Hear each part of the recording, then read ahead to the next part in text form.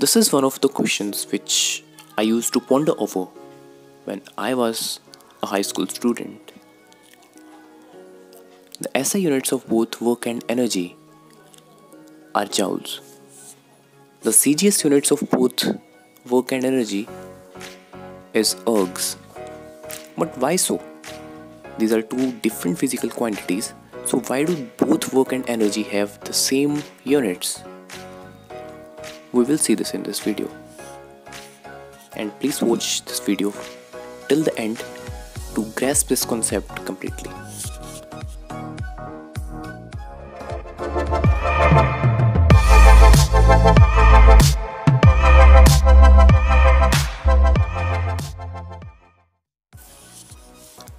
There are multiple ways to understand this concept.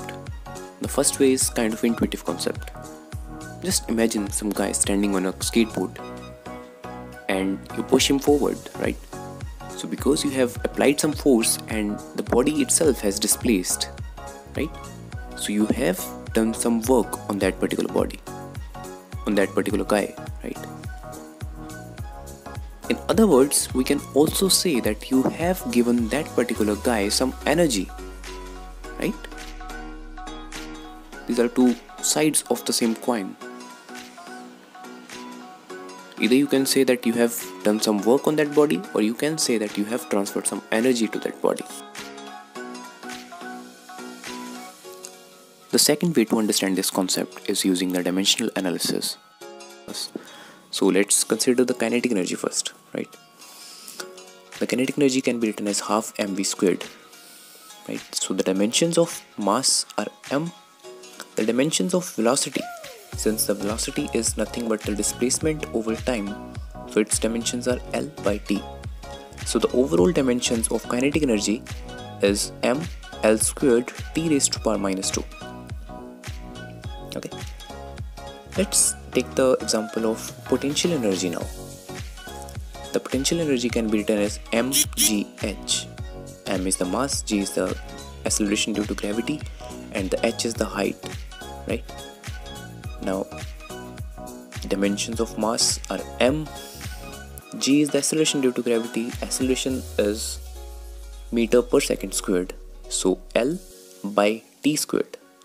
The height, the dimensions of height are l. So the overall dimensions of potential energy are also m. L squared t raised to power minus 2. So the dimensions of both kinetic energy and potential energy are same m l squared t raised to power minus 2, right? And it is obvious because both of these are energies. And we can convert one kind of energy into another, right? Now let's consider the example of the work now the work can be written as force into displacement. The force can be written as mass into acceleration, right? Now the dimensions of the work become, see the dimension of the mass are m, the dimensions of acceleration we have already discussed that, l by t squared and the dimensions of displacement are l. Okay, so the overall dimensions of the work become m l squared t raised to power minus 2 which is same as the dimensions of kinetic energy and potential energy right so we have seen that the dimensions of all these terms kinetic energy potential energy and the work done are same so this is a clear indication that the work and energy are just the two sides of the same coin and nothing else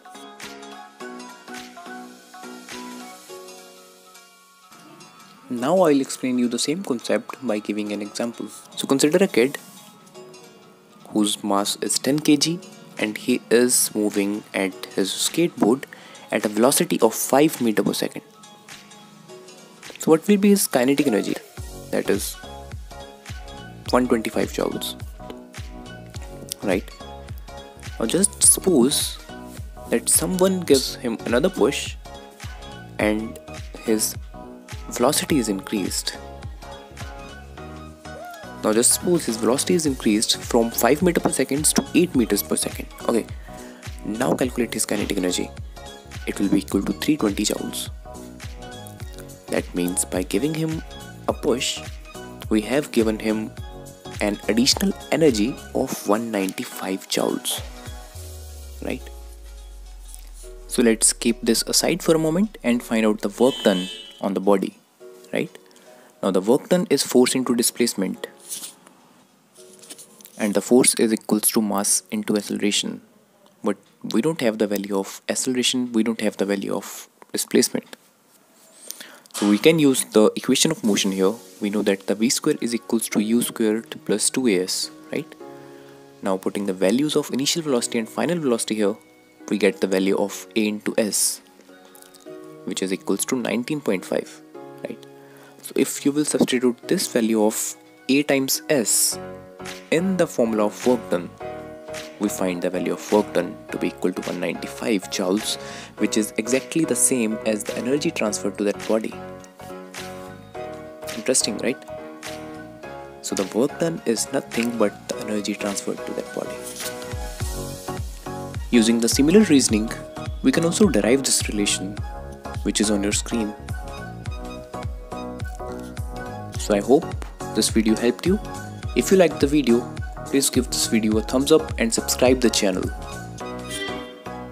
And stay tuned for more awesome videos in the future as well. Thanks for watching.